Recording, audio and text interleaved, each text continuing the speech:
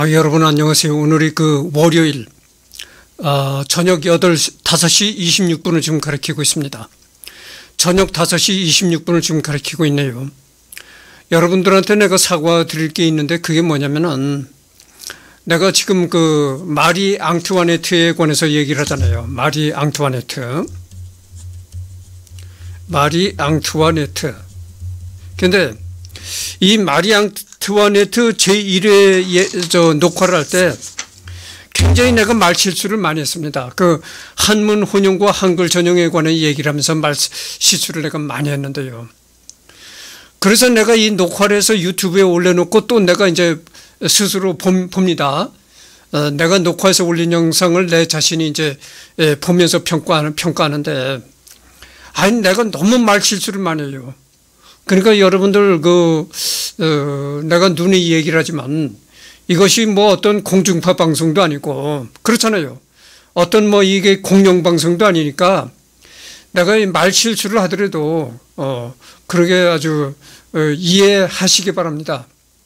그러게 뭐 이건 개인의 그 유튜브니까 오히려 그 말 실수를 안 하고 너무 정확히 하면 그게 또 오히려 이상한 거죠. 음.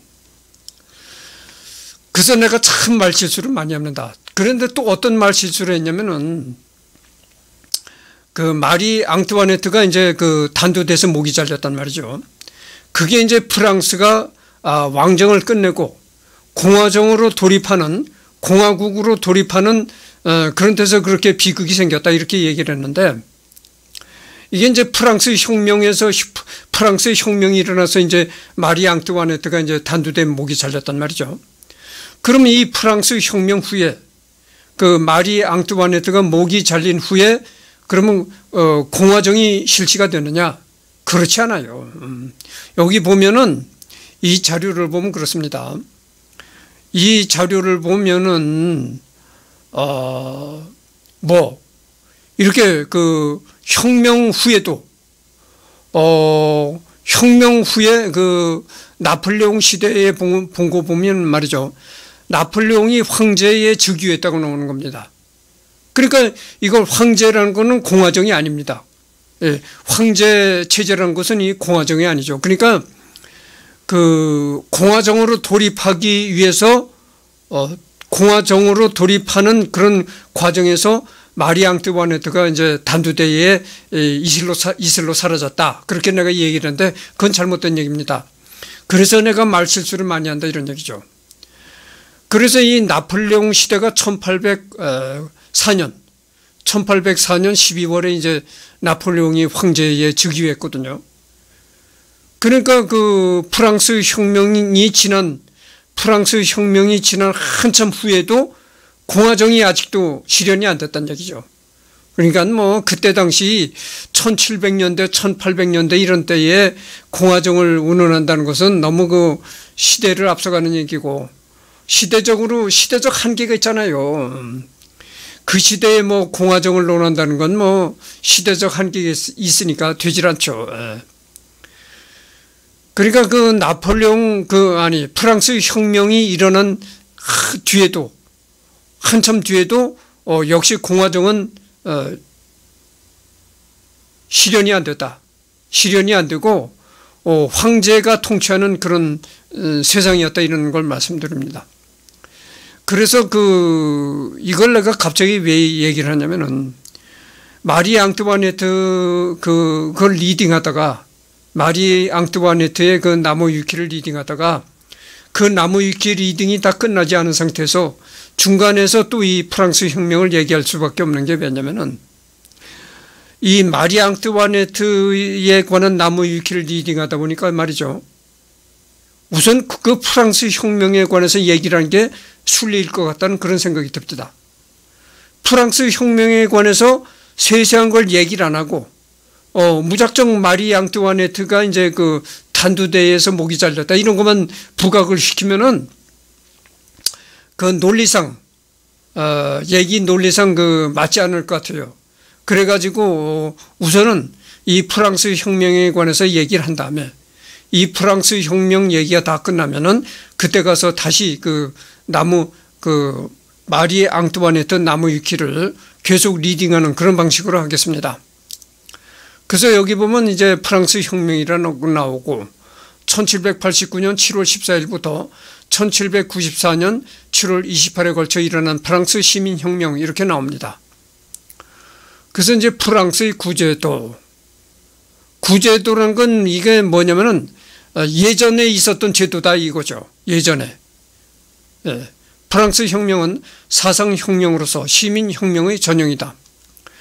여기서 시민혁명은 부르주아 혁명, 계급으로서의 시민혁명만을 의미하지 않는다. 전 국민이 자유로운 개인으로서 자기 일을 확립하고 평등한 권리를 보유하기 위하여 일어선 혁명이라는 보다 넓은 의미를 포함하고 있다. 이런 얘기죠. 그러니까 뭐, 어, 프랑스 혁명은 사상혁명이요, 시민혁명이다. 이런 얘기고, 프랑스 혁명은 아, 시민혁명이라고 할 수 있는데, 이 시민혁명은 단순히 그 부르주아 혁명이라고는 볼 수 없다 이런 얘기입니다.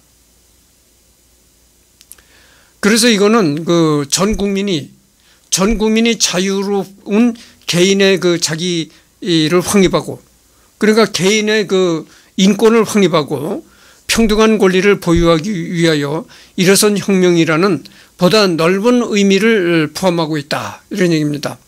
그러니까 이때 벌써 그 프랑스 혁명 때 개인의 인권을 그 확립한다는 의미에서 어, 일어난 혁명이라고 보니까 그 이 바로 혁명 뒤에 공화정이 설립됐어야 그것이 옳은 얘기인데 이 이후에도 어, 공화정은 설립되지 못했고 또그 어, 잠깐 또 얘기가 탁 막혔는데 어, 나폴레옹 어. 나폴레옹 황제의 시대가 또 도래하고 말았다. 그러니까 공화정 시대는 오질 못했다 이런 얘기죠. 어. 공화정이라는 건 여러분들 공화정이라는 걸 아시잖아요. 공화정이라는 거는 삼권이 분립되고 그러니까 지금 과 같은 민주 체제를 얘기를 하는 겁니다. 입법, 사법, 행정이 분리가 되고 삼권이 분립되고 그다음에 그 국가의 최고 통치자를 국민이 선출하는 거 이게 공화정이거든요. 그게 공화정인데 어 그렇게 인권을 부르짖고 일어난 시민혁명이었지만 그러나 바로 공화정으로 넘어가지는 못했다. 그러니까 나폴레옹이 도로 이제 황제의 즉위하는 황제 통치가 되고 말았다 이런 얘기죠. 그러니까 뭐 이 아까도 얘기를 했지만 1700년대나 1800년대 그때 공화정을 한다는 거는 시대적으로 참 어려운 얘기입니다. 시대적 한계가 있잖아요. 음. 그러니까 이렇게 됐다 이런 말씀을 드립니다. 그래서 혁명의 이념은 계몽 사상가인 몽테스키, 볼테르, 루소, 디드로 등에 의해 약 반세기에 걸쳐 배양되었다. 그러니까 개인의 인권 사상, 어? 개인의 인권 사상 뭐 이런 혁명의 에, 이, 이념은 그 혁명이 일어나기 훨씬 전에 에, 몽테스키 뭐 프랑스의 유명한 사람들은 다 나옵니다. 프랑스의 유명한 사상가, 철학가 이런 사람들의 이름이 나오는데 지금은 이런 사람들에 관해서 깊게 들어가지 않겠습니다. 그러나 어, 어 언제든지 이런 사람들에 관해서 깊게 다뤄볼 기회가 있을 것입니다. 지금 내가 하는 유튜브가 인간 탐구잖아요. 어, 그러니까 언제든지 몽테스키와 볼테르 이런 사람들을 한번 다뤄볼 것이라고 생각합니다. 그 중에서도 특히 루소의 문명에 대한 격렬한 비판과 인민 주권론이 혁명 사상의 기초가 되었다. 프랑스 왕권은 루이 14세가 완성한 절대주의 체제에 의해서 여전히 국왕 친정과 신권 이론을 받들고 국가와 인민 위의 군림을 계속하였다. 신권 왕정 밑에서는 모든 국민이 단순히 국왕의 신화에 신화에 불과하다. 그 위에 소수의 귀족 성직자들만이 별도의 특권 신분을 구성하고 국민의 90%를 차지한 평민층의 근로와 납세에 기생하면서 우아하고 무의한 생활을 보내고 있었다.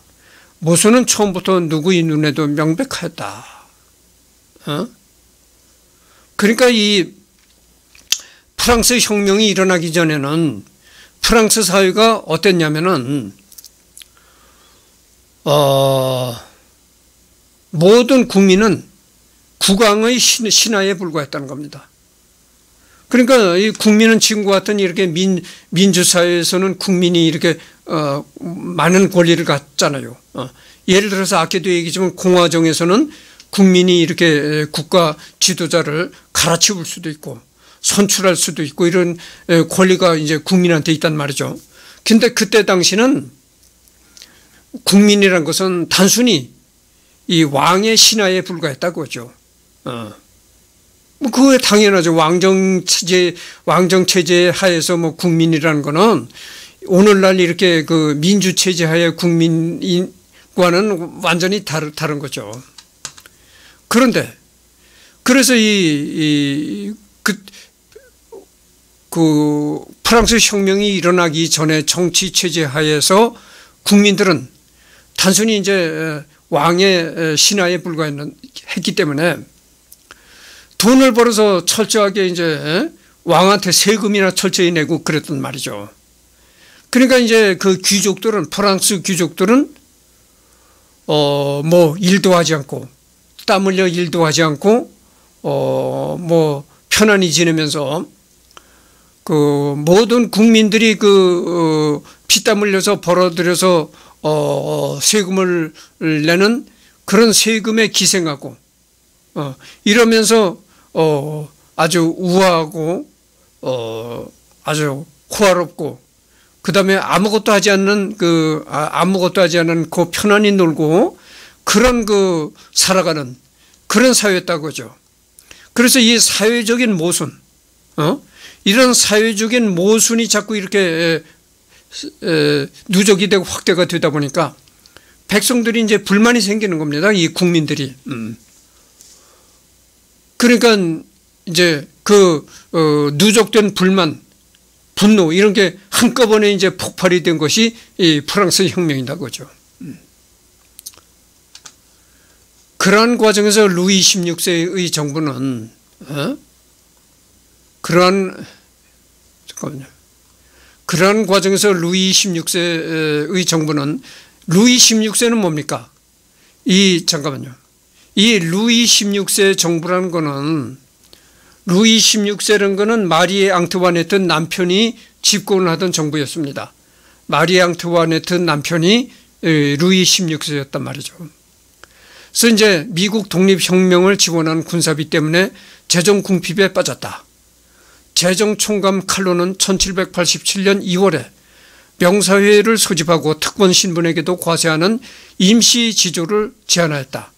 이에 대항하여 귀족 성직자들은 국왕을 뒷받침하던 사법관료의 핵심인 파리 고등법원과 결탁하고 고등법원이 가진 법령심사 권한을 이용해서 왕정 고문부의 제정안에 저항하였다. 그러니까 이제 루이 16세라는 왕이 그러니까 마리 앙트와네트의 남편인 루이 16세가 이제 집권을 하면서 이 루이 16세는 미국의 독립혁명을 지원한 지원했다는 겁니다. 미국의 독립혁명을 지원했는데 그, 그 미국의 독립혁명을 지원하는 그 관계로 인해서 프랑스가 너무 그 어, 재정 상태에 어려움을 어려운 상태에 빠졌다고 합니다. 그러니까 미국 독립혁명을 이제 경제로 지원하다 보니까 독일 저 프랑스가 아, 국내적으로 어, 재정적으로는 굉장히 어려움에 빠졌던 것이죠. 이렇게 재정적으로 어려움에 빠지다 보니까 예전에는 이 귀족이나 성직자들한테는 세금을 물리지 않았었는데 나라가 너무 어려운 그 어, 재정 상태가 너무 어려워지니까 그 다음에는 이, 이 귀족과 성직자들도 예전엔 세금을 안 물렸었는데 귀족과 성직자들도 세금을 내라 이렇게 나왔다는 거죠. 그러다 보니까 여기에 이제 귀족 성직자들도 어, 루이 16세에 관해서 굉장히 반감을 갖고 불만을 갖고 아 저게 뭐야? 아 예전에 우리는 귀족 성직자는 세금도 안 내고 그냥 편안히 살았어. 근데 이놈의 왕은 엉뚱하게 미국의 독립 혁명을 재정적으로 지원하고서 재정적으로 어려워지니까 귀족 성직자들한테도 세금을 뜯어가네. 이거 이래서 놔두면 안 되겠다. 예, 귀족 성직자들도 이제 불만이 생기기 시작했다는 겁니다. 이렇게 왕권 내부에서 투쟁하는 사이에 재정총감 칼론과 그 후임자 브리엔이 실각하고 1788년 8월에 네케르카 제차 어, 네케르가 제차 재정총감으로 기용되었다. 네케르는 고등법원의 요구를 받아들여 1614년 이래 열리지 않았던 전국 삼부회를 다음에 소집할 것을 국민에게 약속하였다. 이런 얘기입니다. 그러니까 이, 이 그림은 말이죠. 프랑스 혁명의 전개를, 프랑스 혁명의 과정을 나타내는 건데, 음? 어, 영국군도 들어가네요. 어? 영국군이 들어가고, 여기는 뭐 브리셀이라고 이렇게 되어 있고, 프로, 프로이센군, 예전에 그 프로이셀이라는 왕정 왕 통치하는 나라가 있었습니다. 근데 그 지금 망했죠. 그 나라가. 음. 그리고 이 파리 프랑스 지도인데 어 1789년 7월 11일 바스티우 감옥을 습격했다 이렇게 나오네요. 그리고 어 1708, 1789년 10월에 예, 베리사유 베르사유 행진을 했다. 그다음에 그 1793년에서 1795년에는 방대의 반란이 있었다. 영국군이 여기 이제 에, 에, 호, 어, 붉은색 칠한 곳으로 이제 뭐 하여튼 진입을 했네요. 어, 상륙을 했는지 하여튼 이렇게 진입을 했네요. 진입. 뭐 여기는 바닷가가 아니니까. 어. 그래서 이 참 이렇게 복잡합니다. 이 그때 당시 이 정세가 이렇게 복잡합니다. 그러니까 그 너무나 이제 골다가 너무나 이, 이 국민들의 불만 모든 게 이렇게 그 쌓이고 쌓여서 골마 터지다가 이제 한꺼번에 폭발이 됐다 이런 얘기죠. 그래서 여기 색깔을 보면은 말이죠. 어, 이렇게 그 얇은 브라운색은 주요 혁명 봉기 지역. 이런 데가 이제 루앙이라고 표시된 이렇게 얇은 브라운 계통의 색깔을 칠한 곳이 주요 혁명 봉기 지역이라는 겁니다. 주요한 그 혁명의 봉기가 일어난 예, 민중의 봉기가 일어난 지역이었다 이런 얘기죠. 그 다음에 그 다음에가 이제 약간 얇은 보라색 같은 그런 색깔은 방대의 반란 지역. 어, 이것도 이제 반란이 일어난 지역이다 그 말이죠. 어. 그리고 어, 약간 이제 에, 붉은 그러니까 얇은 그 레드 빛깔이 나네요. 올빼미당의 폭동지역 올빼미당이라는 그 당이 있었던 모양이죠. 그 폭동한 지역이 그 얇은 레드 레드다 이거죠. 여기가 이제 그 아, 여기가 반이라고 반이라고 반이라고 써져 있고 낭태라고 써져 있는 요 지역이 바로 그 올빼미당의 폭동 지역이네요. 어. 그다음에 그 다음에 분홍색 핑크죠. 분홍색은 정복과 합병 지역. 어, 정복을 해서 합병을 했다고 나오는 건데 이것이 이제 1792년에서 1795년에 있었다. 이제 핑크 색깔. 어, 여기가 되네요. 여기가 정복과 합병 지역이라는 겁니다. 어, 여기 뭐 리에주, 킬른 뭐 나옵니다. 그 다음에 사보이, 니스, 어, 니스가 또 유명하죠, 여러분들. 니스가 그, 음, 하여튼 뭐, 어, 어떤, 지금 내가, 지금 내가 여기에 골몰을 하냐고, 어, 내가 그, 내가 음악 애호가잖아요. 어, 아, 파가니니, 파가니니. 파가니니가 죽고 나서 이 니스에다가 또 매장했다가 또 다른 데로 옮겨가고 그랬었습니다. 그래서 니스가, 아, 니스라는 게 참 이렇게 파가니를 생각하니까 어떻게 이렇게 들어오네요. 내가 여기 지금 프랑스 혁명에 이 몰두하다 보니까 그 내가 알았던 음악가의 이름도 딱 막힙니다. 하여튼 그래서 요게만 이렇게 정신을 집중해야 되는데 막 이렇게 말하다 보면 또 말에 실수가 많이 나와요. 내가 그랬잖아요. 그 마리 앙뚜와네트 마리 앙뚜와네트 1회 그 한문 혼용이냐 한글 전용이냐 얘기할 때 그때 흥분을 해가지고 내가 말 실수를 많이 했단 말이죠. 음. 그리고 또 이제 그 2회 때, 마리 앙뚜아네트 2회 때도 내가 말 실수를 했습니다. 어떤 말 실수를 했는가, 했는고 하니 마리 앙뚜아네트가 단두대에서 목이 잘린 게 그게 바로 공화정으로 가는 길목에서 어, 그런 그 비극이 일어났다. 이런 얘기를 했거든요. 그게 잘못됐다는 얘기죠. 그러니까 이 프랑스 혁명이 끝나고 바로 공화정으로 갔던 것이 아니고 프랑스 아까도 얘기했지만 프랑스 혁명이 끝나고선도 공화정이 실현이 못 되고 이 나폴레옹 황제 시대가 도래했다 그런 얘기를 했잖아요. 그러니까 이, 이 시대적으로 이 시대에 공화정으로 간다는 것은 시대적 한계가 있으니까 음, 내가 아까 얘기한 걸 지금 되풀이하는 겁니다. 그리고 이 흰 색깔 어? 흰 색깔은 1789년의 국경선이라는 겁니다. 그러니까 이게 초록의 굵은 선 있죠? 이게 바로 그 1790, 에, 1789년 그때의 프랑스 국경선이라는 겁니다. 이게. 예. 그러니까 짙은 초록 색깔 라인이 있죠? 이게 그 1789년 그때 당시의 이 국경선이다. 그리고 이 붉은 화살표는 혁명군의 진로. 어. 붉은 화살표가 나오잖아요. 이게 바로 혁명군이 이렇게 전국으로 퍼진 겁니다.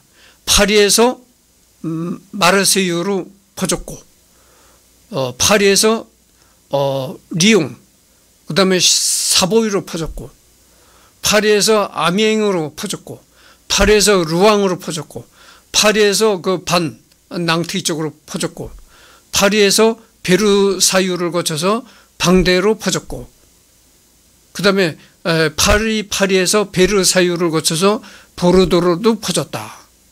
그러니까 이 파리에서 번진 파리에서 발생한 그런 혁명이 이렇게 전국적으로 어, 번진 겁니다. 전국으로 뒤엎었던 겁니다. 혁명이.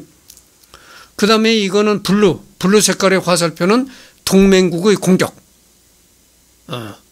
그러니까 이렇게 그 혁명이 전국적으로 불타오르고 이 프랑스가 혼란해지다 보니까 아마도 이 혁명을 장, 혁명을 진압하기 위해서 잠재우기 위해서 이 프랑스 동맹국들이 공격을 했다고 할 수가 있겠네요. 이 blue line이 blue line의 그 화살표가 바로 그 동맹국들이 공격하고 들어오는 겁니다. 에스파냐군, 그다음에 영국군, 그다음에 사르데냐군, 오스트리아군 뭐 이런 주변의 여러 나라의 군대들이 들어오고 있는 거죠. 영국군 이렇게 영국군 뭐 이렇게 들어오고 있는 거죠. 그 다음에 요거는 혁명의 주요 중심지, 혁명의 주요 중심지 동그란 거, 작은 동그라미. 혁명의 혁명이 주요적으로 이제 아주 심하게 혁명이 불타오른 것, 부르주, 디종, 아미엥, 루앙, 캉, 렌, 반, 낭트 뭐 보르도, 뭐 툴루즈 이런데 니스, 니스도 그렇게 혁명이 불타올랐네요. 어. 파가니니의 그 어, 이렇게 묘가 어, 있던 니스 예, 이런데 있네요. 그래서 프랑스 혁명이 또 어떻게 발전했는가 그렇게 발전한 과정을 보면은 국 첫째는 이제 국가가 너무 재정적으로 궁핍해졌다. 아까도 내가 얘기를 했잖아요. 이 마리 앙뚜바네트 그 남편인 루이 16세가 미국의 그 독립 혁명을 이제 재정적으로 지원하다가 예, 국가적으로 이제 재정 궁핍에 빠졌다 이런 얘기를 했잖아요. 그 다음에 구제도의 모순, 아, 혁명이 일어나기 전에 여러 가지 제도의 모순이, 모순이 이제 누적이 됐다. 그리고 또 농사는 흉작이 들었다. 거기다가 이제 흉작이 또 또 들었다는 겁니다. 그러니까 어, 나라 재정은 궁핍해진 데다가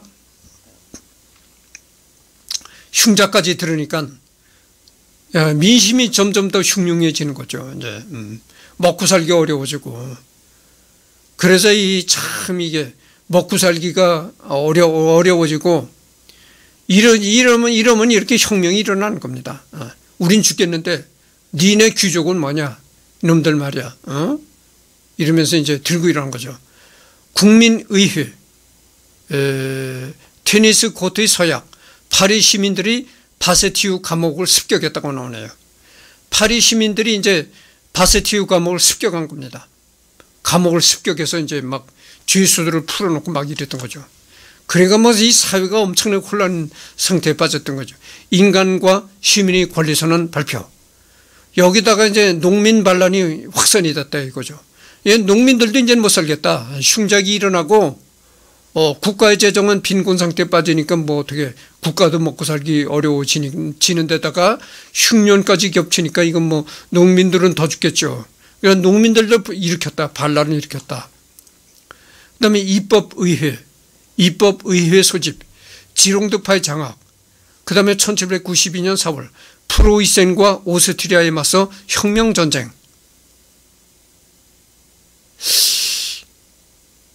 그러니까 이 프로이센이라는 건, 이, 내가 얘기, 얘기를 했잖아요. 프로이센이라는 건 이 왕국이었었는데, 어, 왕이 통치하던 왕의 나라였었는데, 망했습니다. 이 국가가. 예. 그러니까 그 여러분들 국가가 영원하다고 믿으면 안 됩니다.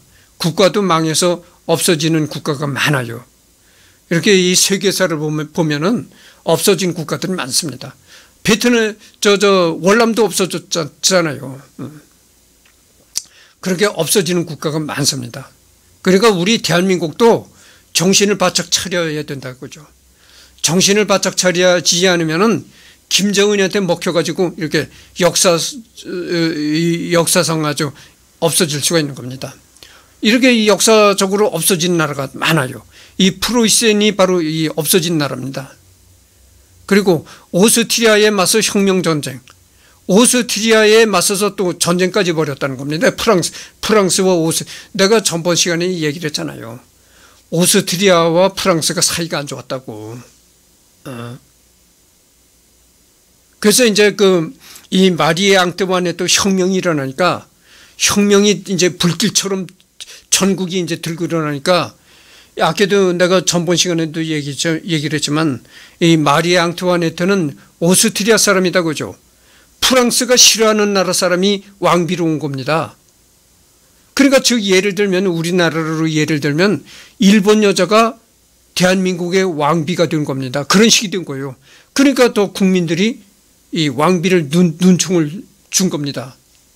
그러다 결국은 이게 단두대에 모기까지 잘렸다 이러니 여러분들 내가 전번 시간에 단두대 보여드렸잖아요. 이 단두대가 칼날이 위에 이렇게 달렸거든. 기계 칼날이 위에 달렸는데 그 칼날이 무게가 가볍질 않아요. 여러분 칼날이라고 해서 뭐 시칼이나 이런 이런 걸 생각하면 안 됩니다. 이 칼날이 보통 한 1톤이나 2톤 그 정도 됩니다. 굉장히 쇠덩어리니까 엄청나게 무겁죠. 이 칼날이 엄청나게 무게가 나가는 겁니다.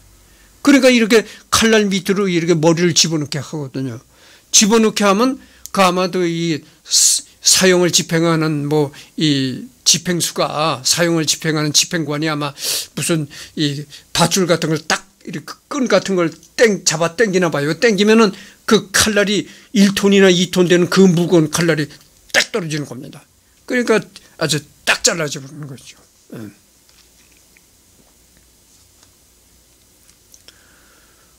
그래서 이제 국민공회가 설립이 되고 아니 그렇게 그 혁명이 자꾸 일어나고 하다 보니까 이게 정부도 이 혼란스러워지는 겁니다. 프랑스 정, 정정이 혼란스러워지니까 자꾸 이렇게 정부 형태가 바뀌는 거예요. 1789년에는 이제 국민회의가 아, 성립이 됐었고 1791년엔 입법의회가라는 게 또 있었고 1792년에는 이제 국민 공회라는 게 또 있었습니다. 그때 여기는 이제 1792년 9월 달에는 국민 공회가 이제 설, 설립이 되고 그러니까 이렇게 그 프랑스가 이렇게 저 전국적으로 혁명이 일어나고 어지러워지니까 이 정치권에서도 아주 자꾸 이렇게 변화가 걷되는 겁니다.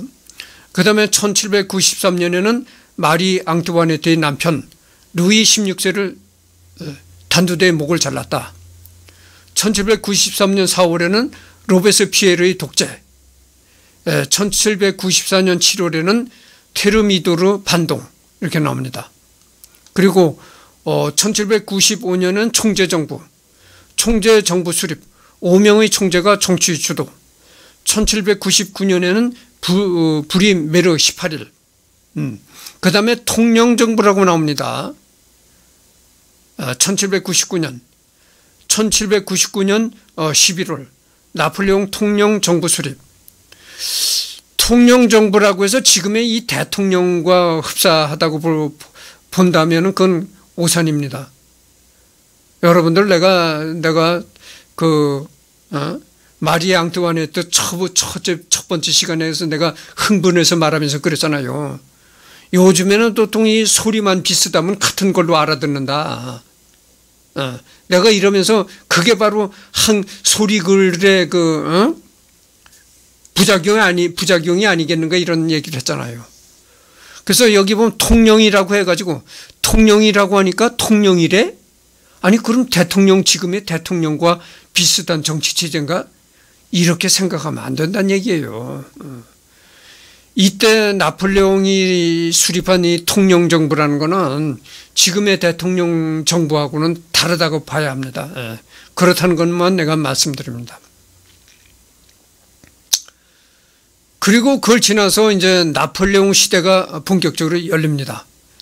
1804년 12월 나폴레옹 황제 즉위. 황, 나폴레옹이 황제를 즉위했다고 나오잖아요. 어. 그러니까 이때부터 이때가 이때 통령이라는 거는 지금의 대통령과는 다르다고 생각할 수가 있는 거예요. 생각해 보세요. 아, 대통령의 그렇게 대통령제의 대통령제를 실시했던 어, 공화정의 나라가 황제의 나라로 바뀔 수는 없는 거잖아요. 에?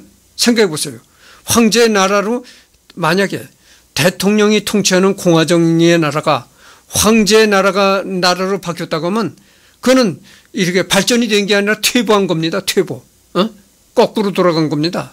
그러니까 그거는 안 되잖아요. 그러니까 이거는 어, 이 대통령이라는 건 지금의 대통령이라고 생각하면 안 됩니다. 예. 뭐 그때 내가 통령이라는 게 어떤 정부인지는 내가 자세히는 모르겠는데 하여튼 지금의 대통령이 있는 그런 정부와는 완전히 다르다 이렇게 생각하면 돼요. 그러니까 지금의 민주 체제의 대통령 정부와는 완전히 다르다 이런 생각하면 됩니다. 그리고서 이제 나폴레옹 시대가 개막이 되고 나폴레옹과 엘바 섬으로 유배 에, 나폴레옹 엘바 섬으로 유배 루이 18세 즉위 아 또 이 또 한 번 이게 뒤바 또 한 번 이렇게 그 폭풍이 불어닥쳤네요. 그러니까 나폴 나폴레옹이 나폴레옹이 황제로 즉위했잖아요. 근데 이제는 나폴레 그 황제로 즉위했던 나폴레옹이 엘바 섬으로 이제 귀양 가는 겁니다.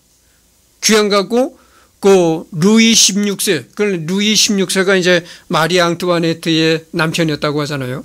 그 어, 예전에 그 마리 앙투와네트의 그 혈통이었던 마리 앙투와네트 남편의 혈통이었던 사람이 루이 18세인데 그 예전에 그 왕의 혈통이었던 사람이 다시 다시 왕으로 올라섰다 이겁니다.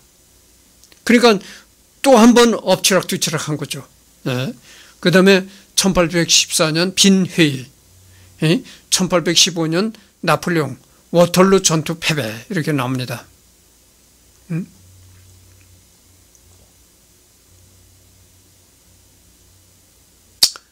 그래서 그 프랑스 혁명에 관해서 얘기를 했으니까 다음에는 그 어, 어, 마리 앙투아네트 나무위키를 reading하는 그런 식, 시간으로 되돌아가도록 하겠습니다. 그래서 프랑스 혁명에 관해서 내가 대충 얘기를 했는데요. 내가 첫 번째 시간에 뭐라고 했습니까? 마리아 앙트와네트 첫 번째 시간에. 마리아 앙트와네트가 어느 나라 사람이냐? 오스트리아 사람이다. 어? 오스트리아. 오스트리아 사람인데 그때 당시 프랑스와 오스트리아가 사이가 안 좋았다고 하죠. 그러니까 지금 지금으로 말하면 한국과 일본 같이 이렇게 가까, 이렇게 가까우면서도 사이가 안 좋은 그런 형식이야. 그래서 이 프랑스는 오스트리아를 안 좋아하는데 별로 안 좋아하는데 오스트리아 여자가 이제 왕비로 왔단 말이죠. 그러니까 이 왕비를 이제 눈충을 주는다가 그런 눈충을 안 좋게 생각했던 차에 또 이렇게 전국적으로 어, 어, 밀란이 일어나고 하니까 에이 이 다음에 아주 그냥 죽여버리자 이렇게 된 거죠. 그래서 그 오스트리아라는 나라는 말이죠. 여러분들 그 오스트리아라는 나라를 한번 여러분들 그 잘 생각해 보십시오. 내가 그 어, 인간 탐구에서 조갑제 그 예전에 그 월간 조선 편집장을 지냈던 조갑제라는 양반의 그 그것도 인간 탐구에서 다뤘었잖아요.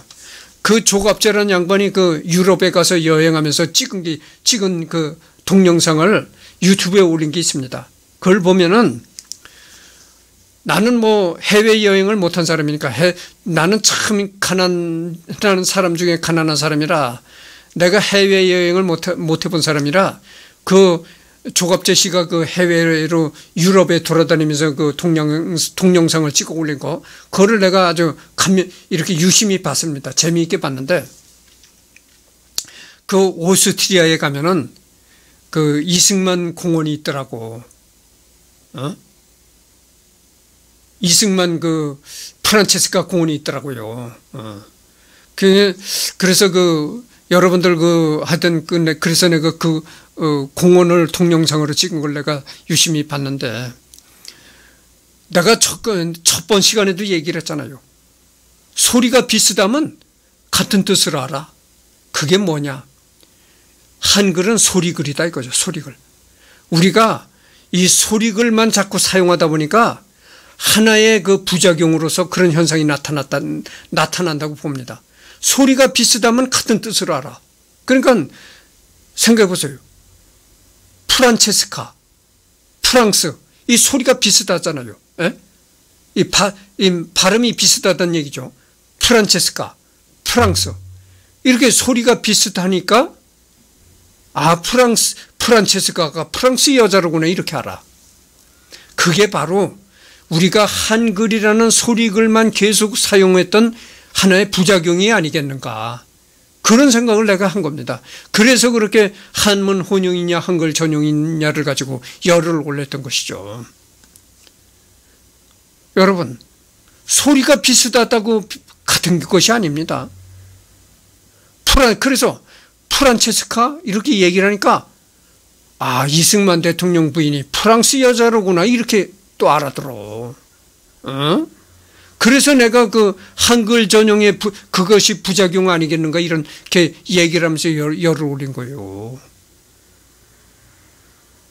프란체스카가 이승만 대통령 부인 프란체스카가 프랑스 여자가 아니고 오스트리아 여자입니다. 오스트리아. 음? 그러니까 소리가 비슷하면 무조건 같은 걸로 알아. 프란체스카라고 하니까 아 프랑스 여자로구나 이지라는 거야. 야, 이게 소리글만 너무 사용한 부작용이 아니겠는가 이렇게 내가 진단을 해본 겁니다. 그래서 내가 그렇게 열을 올린 거예요. 뭐 내가 또 제 마리 앙뜨완의 또 1회에서 그렇게 열을 올리면서 내가 얘기를 오랫동안 했으니까 이제 그 얘기는 그만하도록 하겠습니다. 그래서 바로 이 마리 앙뜨와네트 왕비가 우리나라 그 이승만 대통령의 조국 이승만 대통령 부인의 이승만 대통령이 아니고 이승만 대통령의 부인의 고국인 그 오스트리아 사람이었다 고죠. 그러니까 마리 앙트와네트하고 프란체스카는 같은 나라 사람이었다 이런 얘기입니다. 음, 그렇게 하십시오. 그래서 오늘 그 월요일 날 했던 녹화는 월요일 날그 음, 한 녹화는 이것으로 끝을 맺겠습니다. 녹화를 시작한 지가 40분을 경과했습니다. 40분 만에 끝을 맺고 에, 다음에는 그 어, 마리아 앙트와네트 이제 하다가 중단한 그 나무 위키로 다시 되돌아가도록 하겠습니다.